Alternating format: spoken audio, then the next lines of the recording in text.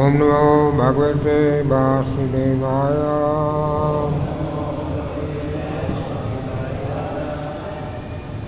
ॐ नमो भगवते वासुदेवाय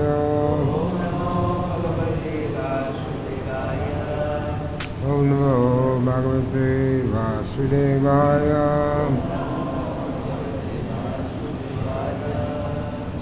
Reading from Srimad Bhagavatam, Canto 7, Chapter 14, text number 5.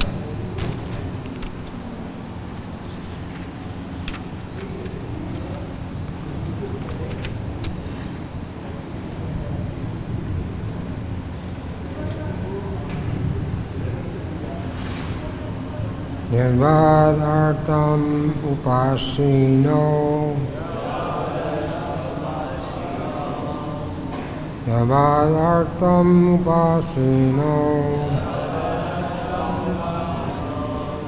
गे गे च पण्डितः। गे गे च पण्डितः। विक्रातो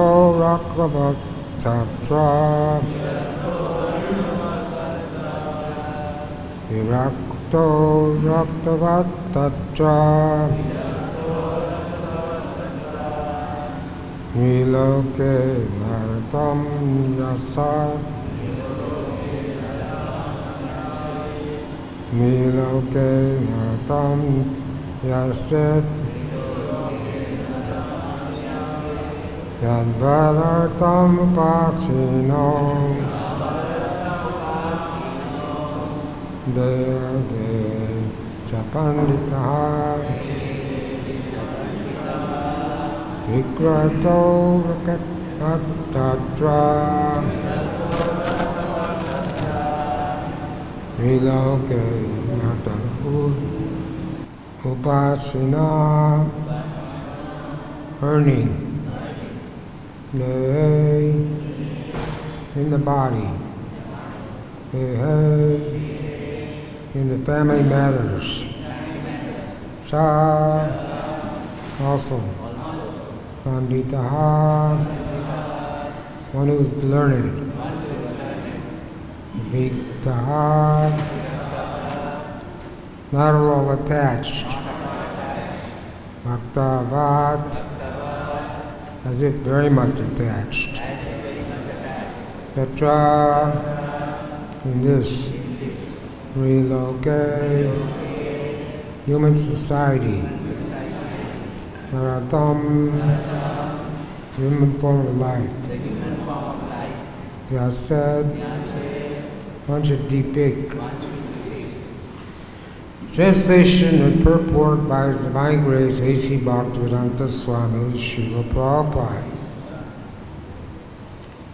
While working to earn his livelihood as much as necessary to maintain body and soul together, one is actually learned to live in human society unattached to family affairs, although externally appearing very much attached.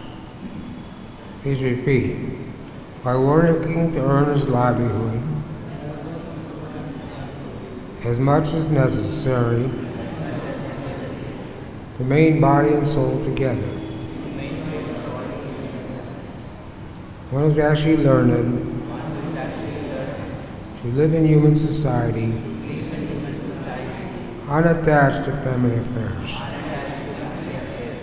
although externally appearing very much attached.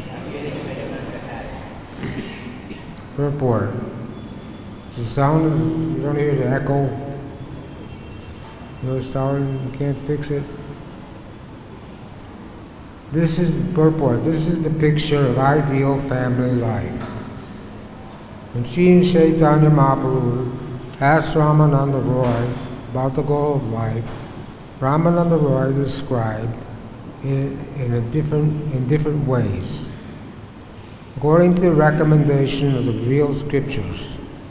Finally, Ramananda Roy explained that one may stay in his own position, whether as a Brahmana, a Sudra, a sannyasi, or whatever, but one must try to inquire about life's goal, atato brahmajignasa. This is the proper utilization of human form of life. When one misuses the gift of human form by unnecessarily indulging in the animal propensities, eating, sleeping, mating, defending, and does not try to get out of the clutches of Maya, which subjects one to repeated birth, death, old age, and disease, once again punished by being forced to descend to lower species and undergo evolution according to the laws of nature.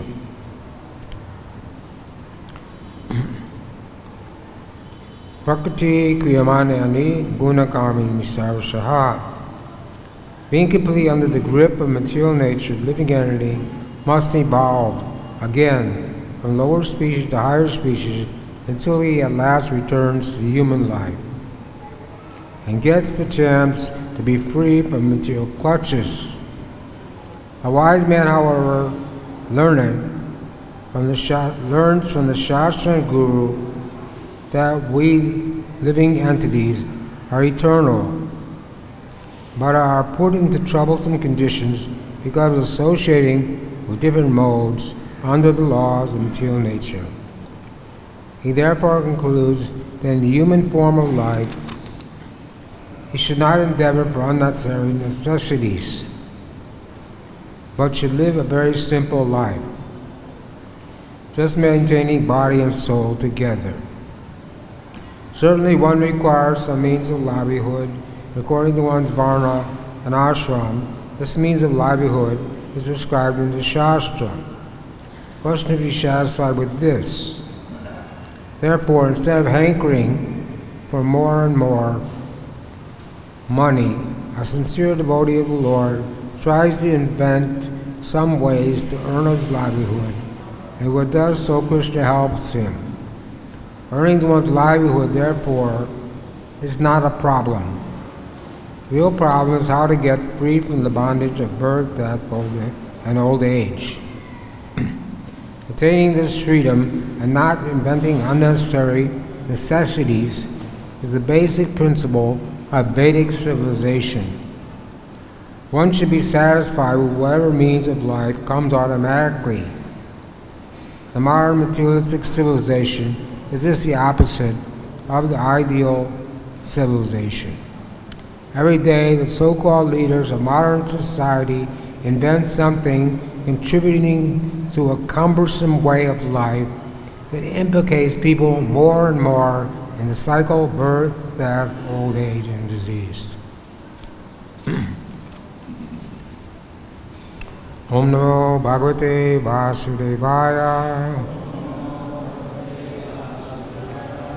ओम नमो भागवते वासुदेवाय। ओम नमो भागवते वासुदेवाय। होमज्ञानचुरान्दस्य चुनाचुनाशकया चक्षुरमितं येन तस्मै श्रीगुरुते नमः। Shri Gurve Namaha Shri Chaitanya Vanobhistam Stapitam Yena Bhutale Swayam Rupa Gadamayam Dantisa Padantikam Sri Krishna Chaitanya Prabhu Nityananda Sri Advaita Gadadhar Sri Vasudeva Gaur Bhaktavinda Hare Krishna Hare Krishna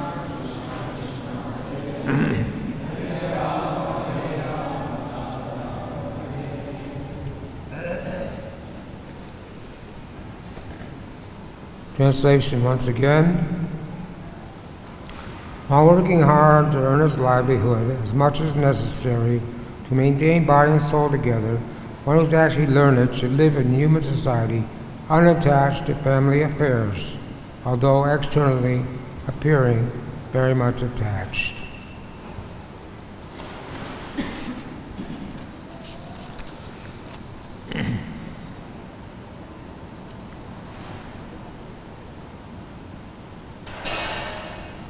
So this verse, this chapter, Canto 7, chapters 11 through 14 are very instructive,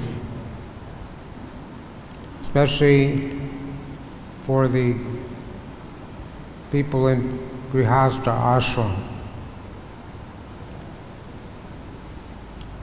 Are four ashrams, brahmachari, grihastha, vanaprastha, and sannyas. So brahmachari ashram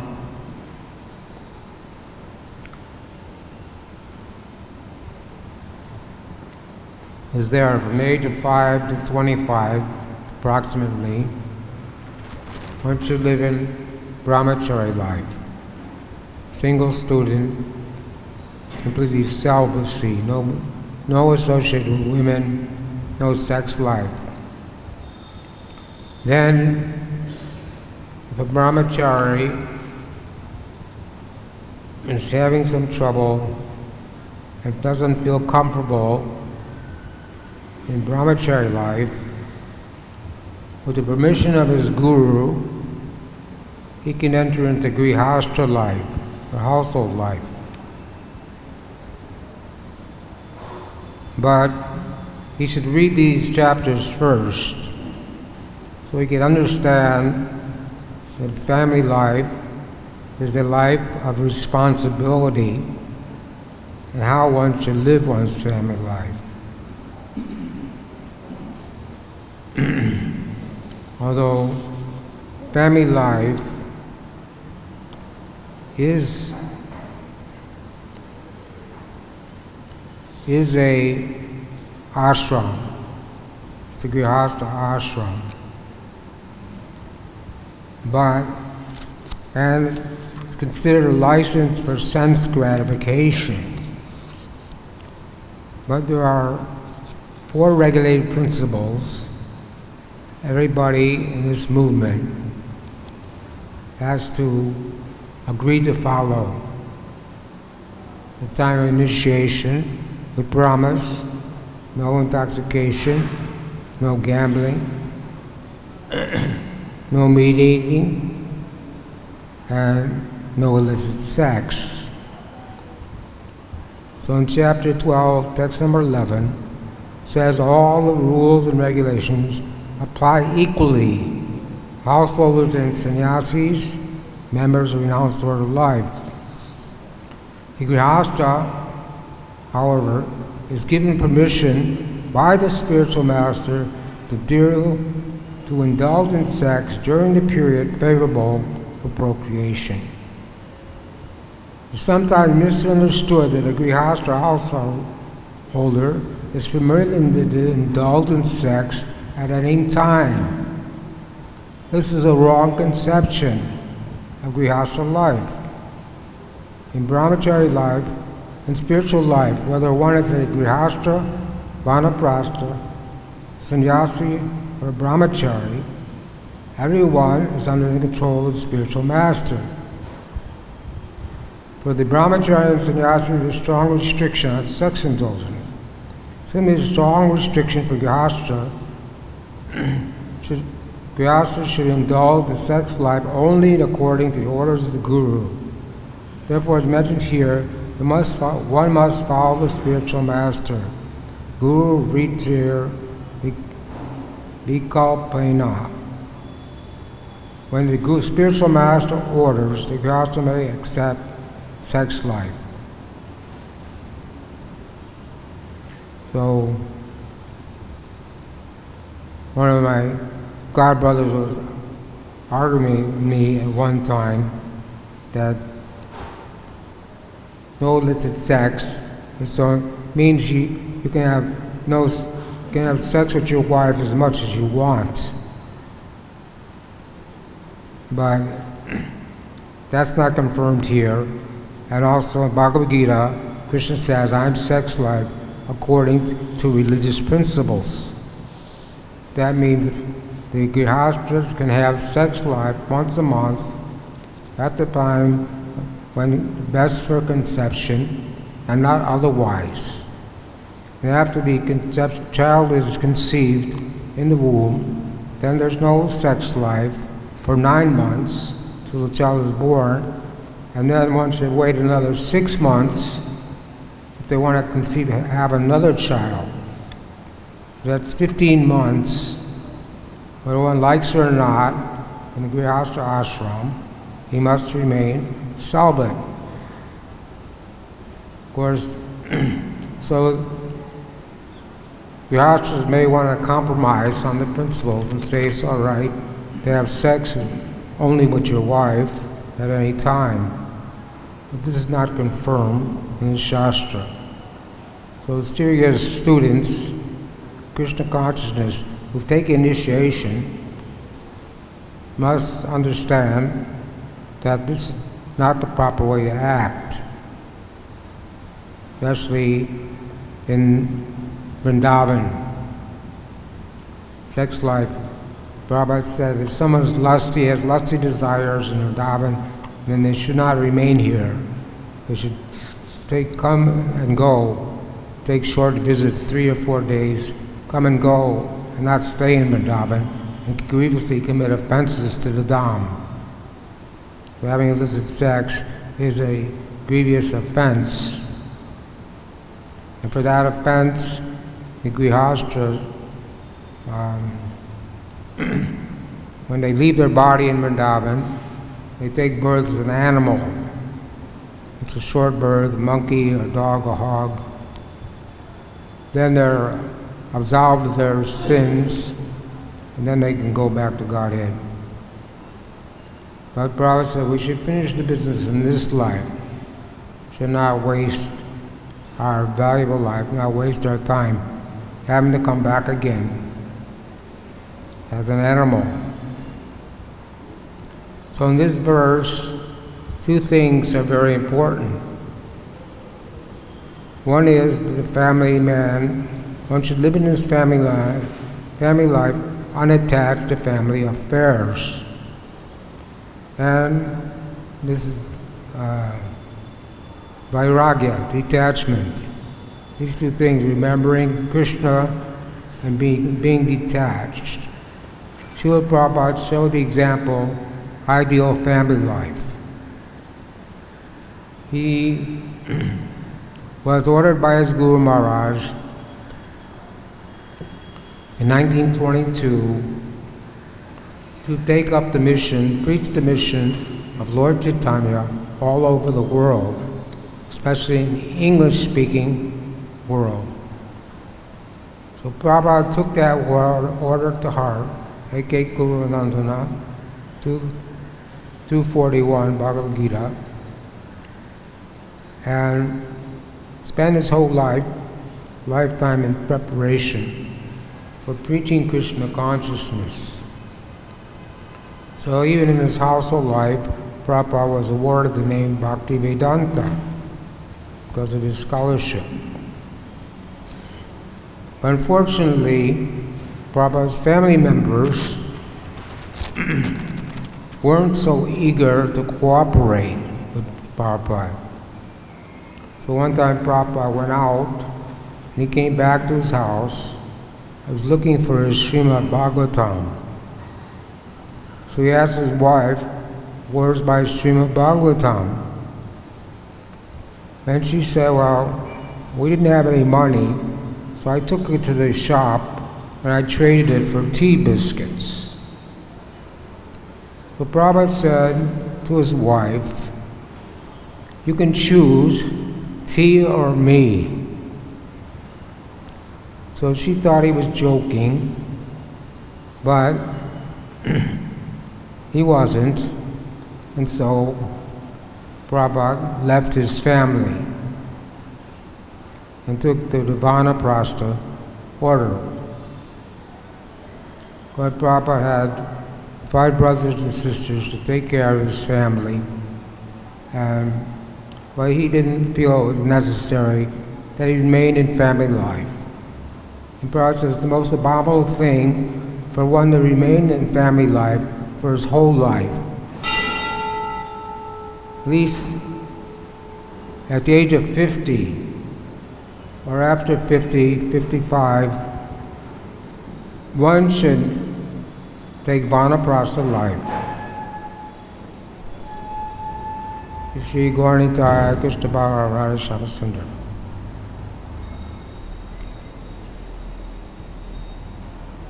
When one marries, he should know that the age of 50, that one should retire from family life. That means vanaprastha life, which means no more sex life, no more association with women are limited. Of course, the vanaprastha, he can keep his wife with him if she's favorable and helping him in his Krishna consciousness, but not for sense gratification. We have devotees in our movement who have showed this example, Vaisheshika Prabhu and many others. they have a house somewhere and they no longer live with their wife. They made separate arrangements so they can just practice spiritual life. So after 50 years of age, he uh, Rest of one's life should be utilized for becoming Krishna conscious, not otherwise. So this is called detachment. But it's not easy to become detached from family life when you have children and grandchildren. So devotee, devotees don't become detached so easily. Some do, some don't. But here it says, even while one's in his family life, he should be unattached to family affairs, although externally appearing to be very attached. You know, Raghunath Das Goswami was in family life. His father was very wealthy, he was earning three lakhs every month. He had a wife who was as beautiful as an angel. But these things didn't appeal to Raghunath Das, and he kept running away from home to meet Chaitanya Mahaprabhu. His father would send his men to bring Raghunath Das back. So this was going on for a while. And so they didn't know what to do. So Raghunath Das father said we should bind Raghunath Das. But his mother said, even if you bind him, he'll still be attached to, the, to going to Chaitanya Mahaprabhu.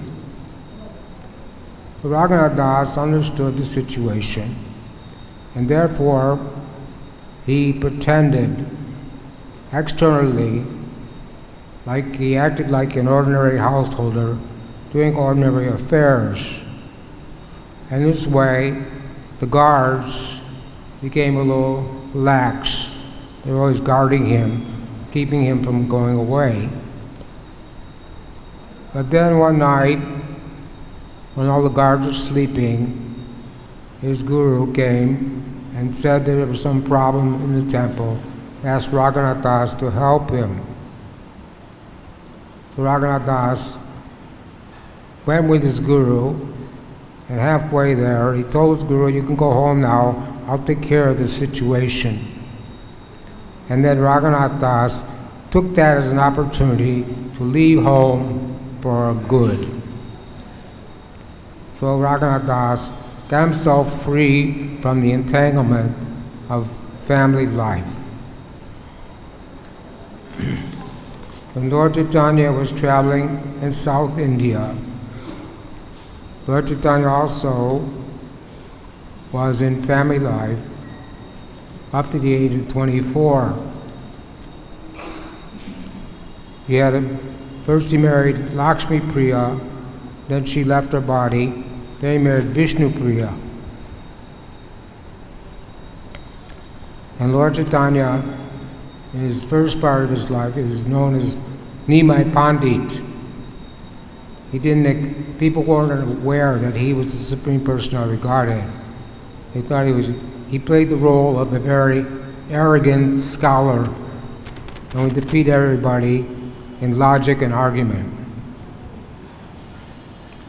So, but Lord Chaitanya decided what household life was too disturbing for him, and after he went to Gaya and met Ishvara Puri and took initiation, his mood changed. Instead of being a proud scholar, trying to feed everyone, he became a devotee and started exhibiting ecstatic symptoms.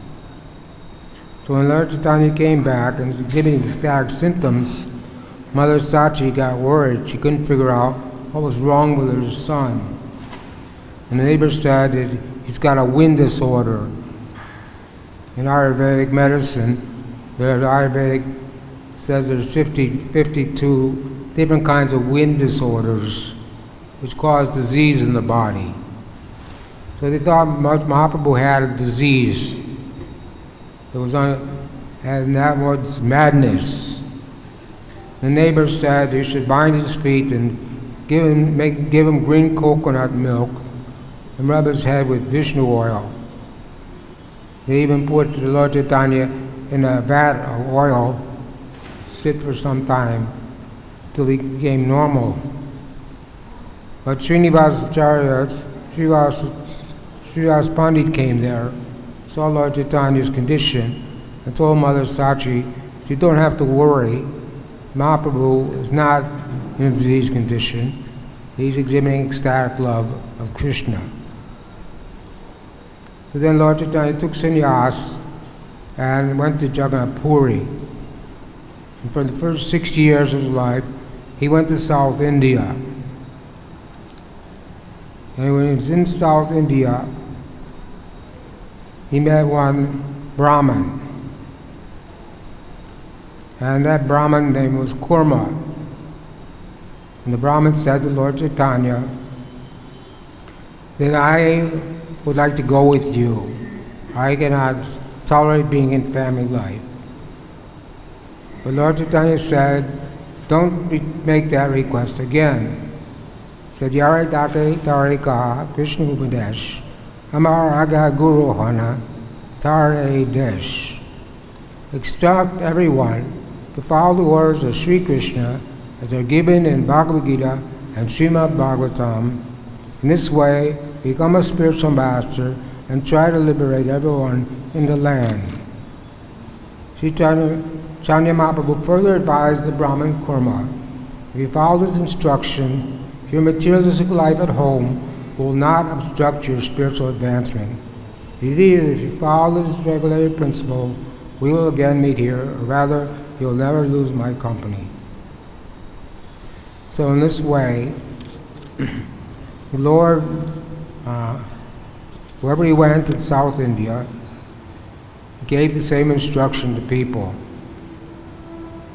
So, in Krishna consciousness movement, people want to join this movement they don't have to uh, change their way of life, but they have to change their way of living. and here is the instruction uh, one should live, uh, only endeavor to make as much money as required. Our Krishna conscious movement is simple living and high thinking, not high living and no thinking. Material life means high living and no thinking. But our life is simple living and high thinking. So in the Ishopanishad, it says Isha Ishvasham idam sarvam tatkinchin jagat jatyam jagat tene tena bhujita nagrita kasha siddhanam. Anything animate and inanimate that is within the universe is controlled owned by the Lord. One should therefore accept only those things necessary for himself which are set aside as his quota. One should not accept other things, knowing well to whom they belong. So this was the what the was being spoken about here. That one should earn his livelihood. One should. We don't say people should not uh, make money or earn their livelihood. But people have to live, they have certain things, certain necessities are there. But we see in brahmachari life, it's very easy to live simple. And you don't have to worry about money, you don't have to worry about paying bills, you don't have to worry about anything. Just live a simple life, accept whatever prasadam is provided, accept whatever cloth is provided, uh, and just preach or do your service and be free from anxiety. We have many grihastas in this room. How many grihastas are happy in family life? Raise your hand.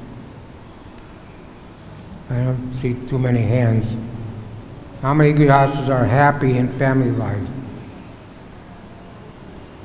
So, brahmachari should know that Family life means so many difficulties. And get money is, is one of them. You can see the case of Sudama Brahman, he was an ideal Grihastha. He never asked anybody for anything, and he was practically starving, he didn't have clothes, he didn't have much of anything. But because he was devotee, he was satisfied to accept whatever came on its own accord. But some endeavor must be made by Grihastha to maintain his family. But uh, the Grihastha went into the life, he should not give up his sadhana. We see when people enter Grihastha life, uh, their sadhana becomes very weak. Until he told me he was Brahmachari he was have very nice sadhana. His wife was single, she had very nice sadhana. But when they got married, neither one of them has any sadhana.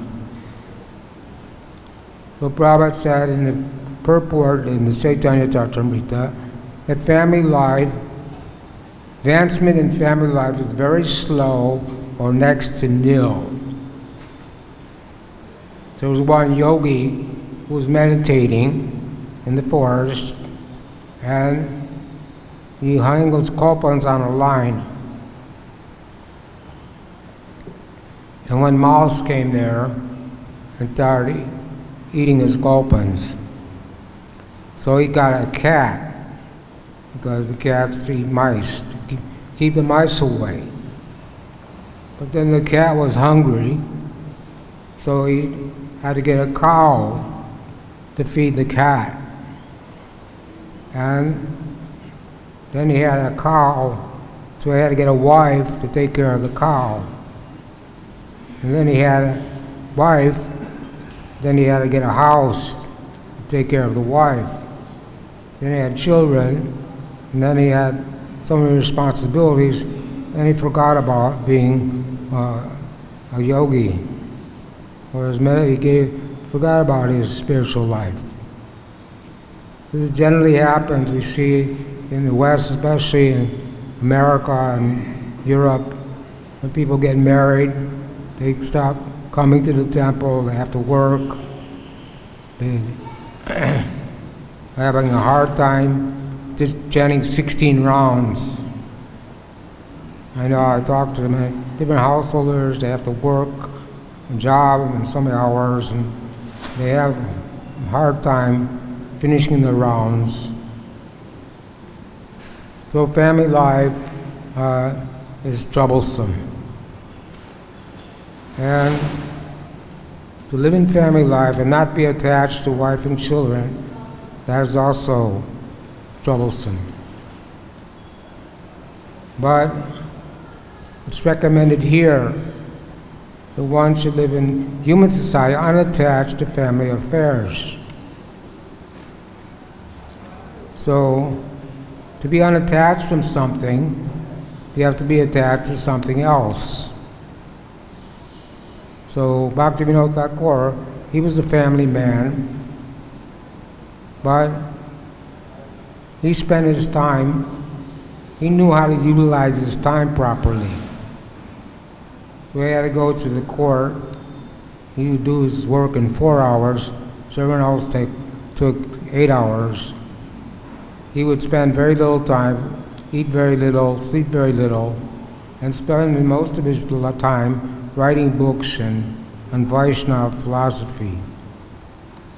So he showed ideal family life.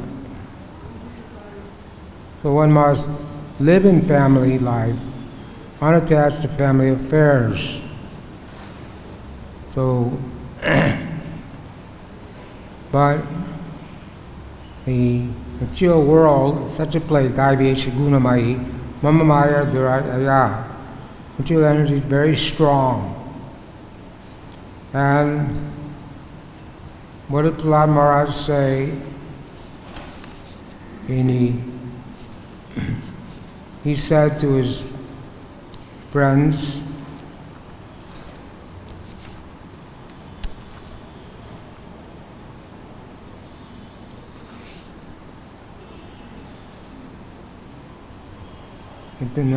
vidu starakatim he Vishnu.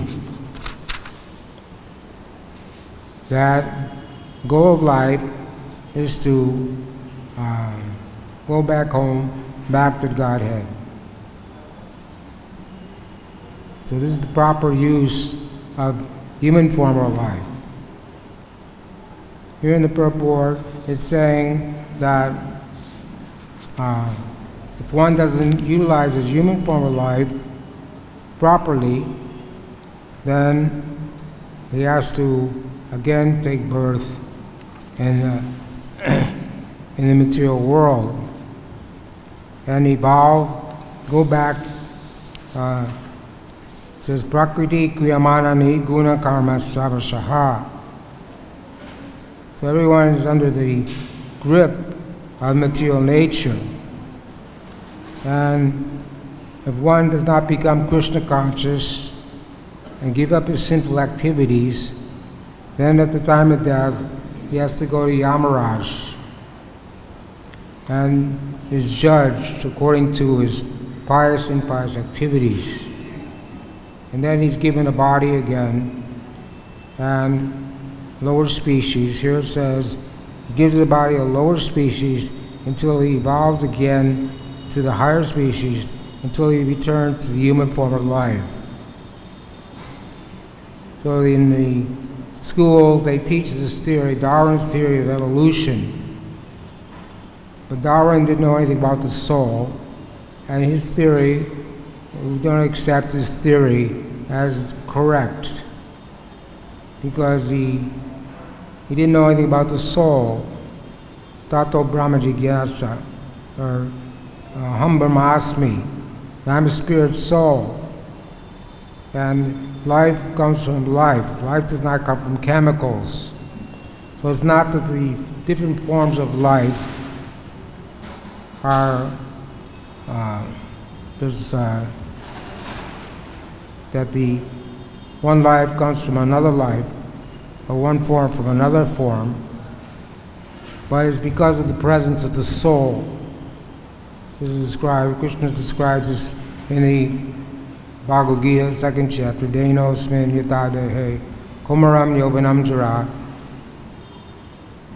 that from boyhood to youth to old age, to meet the time of death, one has to take birth again. So the soul is transmigrating from one form to another, 8,400,000 species. It's not that one species. Darwin said that man came from monkey species. But there's so many monkeys in Vrindavan, we don't see any men coming from monkeys. Why have they stopped coming from monkeys? And monkeys are less intelligent. Have intelligence to steal things, to steal people's glasses, to get some food, or to steal something. But they don't have intelligence to hear uh, Shabda Brahman, to hear spiritual sound vibrations. So only in human form of life do we have the intelligence. So there's two paths one can take, Pravritti Marg, Marg. You can take the path of sense gratification, or you can take the path of liberation. Shreyas and Preyas. A child doesn't want to go to school. Prabhupada said he didn't like to go to school either, so someone had to take him to school every day. The child is sent to school by the parents because they know in the future it's for his future benefit. If the child doesn't get an education, then his future life he'll have trouble. So, uh, the uh, human form of life should not be wasted only for sense gratification. Devidu Sarakatim He Vishnu. The goal of life is to go back home, back to Godhead. But they don't know that. Human society doesn't know that. They're misguided, misguided by uh, uh, the leaders of society who don't know what the goal of life is. You ask anybody, you meet what's the goal of life, and they can't tell you. The goal of life not simply to get a big car, get a big house, have a lot of money, do whatever you want, eat whatever you want. This doesn't make people happy. We heard from the Python man. He said that a woman and man unite in sex life thinking they'll be happy, but neither one of them are happy. So men have lots of money, millionaires, lakh parties, crore parties, but it? instead of being happy, they're in anxiety, can't sleep at night. They're always worried that someone's going to take their money. Always worried about so many things. And a man in family life makes money, supports his family, but when he gets old and can no longer support his family, then they don't like him anymore, and they mistreat them. Or in America, they put people in old people's homes, so they don't have to take care of their, their family anymore. So the misuse of the uh, family life. So we should hear, one should hear from Guru, Guru Shastra, Sadhu Vaikya. Guru Sadhu Shastra Vaikya, Chitte Korea Aikya. That by uh, accepting Guru, Guru Ashraya, not that, that even do, no. One should, Bhagavad Gita says, that one should accept a spiritual master and uh, uh, hear from him, uh, serve the spiritual master, under service of the spiritual master, inquire from him submissively, the spiritual master can impart knowledge because he's seen the truth. So Guru and Shastra and Sadhu, these three things are important. And Baladev Vidyabhushan says, by worshiping the lotus feet of the spiritual master, then one can get free from the glue of the modes of material nature. Like super glue. The modes of nature, goodness, passion, ignorance, are strongly glued to the living entity. And to get free from that, very difficult. But 1426 Bhagavad Gita says that one who does not fall down in any circumstance can come to the level of Brahman. Brahma Bhuya Kalpate. So it's about how to come to that level where we're always on the transcendental platform, and that's by worshiping the, the spirit, lotus feet of the spiritual master. So we sing the prayer in the morning, Samadhi Arti, Samsara Dava. We sing the prayer, Sri Guru Charana Padma, in the Guru Puja. The lotus feet of the spiritual master the only way to attain pure devotional service. So this is a very important item. A householder, if a uh, saintly person comes to a householder's house, he should wash his feet, accept the remnants of his food, and take the dust from his feet and the water that washes feet. These three substances are very important for devotees. So the principle here is that uh, we should live according to the Vedic civilization. Modern civilization, they don't know what is Vedic civilization. In Vedic civilization, described in the Krishna book, the one must accept a guru, a sadguru, who's knowledgeable and who can guide you how to uh, live a spiritual life. It says, Krishna told Arjuna that you are acting like a non-Aryan, or a non, uh, not, because he refused to fight and he refused to follow. Uh, so Krishna said, you're acting like a non-Aryan. Aryans are those who follow Vedic civilization. In the Vedic civilization, uh, people, no one would show, show their lower half of their body. We know the sons of Kuvera, they were intoxicated so much so, when Narada Muni came by, they didn't even try to cover their bodies. So Narada Muni cursed them to stand as trees, because trees stand naked for hundreds of years Of course, that was a blessing. They also were in the courtyard of Maharaj and got the blessings of Krishna, who liberated them from that curse, that tree body. So otherwise, if people don't live uh, according to Vedic civilization, there could be no peace in society, and people cannot be happy in society. As long as they're slaughtering innocent animals, as long as there's slaughterhouses, then there always must be war. Because war is a direct reaction to slaughterhouses. So slaughtering animals, then the war is the slaughter of, of human beings. So so-called religion, Kaitava Dharma, there's many cheating religions in this world, but don't tell people that they should give up eat meat. When Prabhupada met Professor Danielou, I mean, yeah, Cardinal Danielou in France, he told him that you should not eat meat. This is supposed to be a religious leader. And he said, oh, the children are hungry, they have to eat meat. We have to eat meat. Prabhupada in so many ways tried to instruct them that meat eating wasn't good especially the cow. If you want to eat meat, it says in the Bhagavatam, if someone wants to eat meat, you can eat a goat or a deer, but never a cow. The cow is the goat. Ramanya Hitayacha. Go is the most dear to Krishna. And the cow is pure.